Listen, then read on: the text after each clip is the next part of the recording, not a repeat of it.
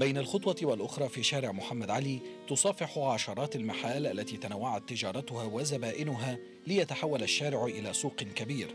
من بين هذه المحال لم يتبقى إلا هذا المعرض ومعه محلان آخران يحملان عبق وتاريخ ذلك الشارع الذي لم يكن يعرف نشاطا في النصف الأول من القرن الماضي سوى الغناء والموسيقى وما يتعلق بها. أنا اتعلمت هنا ونشأت هنا تعليم العود لغاية النهارده سني 42 سنة وما زال اتعلمت هنا صنعة العود. المحل ده بقاله حوالي 45 سنة فاتح وليه شهرة حلوة يعني بره دول عربية دول أوروبية. شارع محمد علي فيه محلات آه، شاملة شرقي وغربي يعني جيتار وكمانجا بتاع كل الحاجات دي غربية.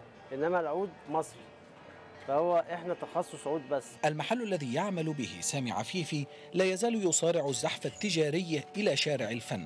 ورغم أنه يظل قبلة أساسية أمام الراغبين في شراء الآلات الموسيقية إلا أن صاحبه عادة ما يؤكد التغيير الملحوظ الذي طرأ على نوعية زبائنه.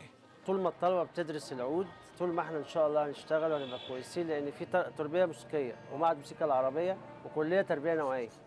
برضه دول هم دول اللي ساندنا شوية وبيبعتوا الطلبة وشغالة يعني. وإذا كان المحل أو الورشة وبعض المحال الأخرى لا تزال تحمل رائحة الماضي فإن الشارع تخلى تماما عن هوايته الأولى حينما كان يسهم بشكل بارز في تشكيل الفرق الموسيقية وتقديم العديد من نجوم السينما والغناء. إحنا عايشين على تاريخ شارع محمد علي إن هو مشهور بالفن. ده زال إحنا فيه. أنا بقالي دلوقتي داخل على حوالي 32 سنة في الشارع نفسه.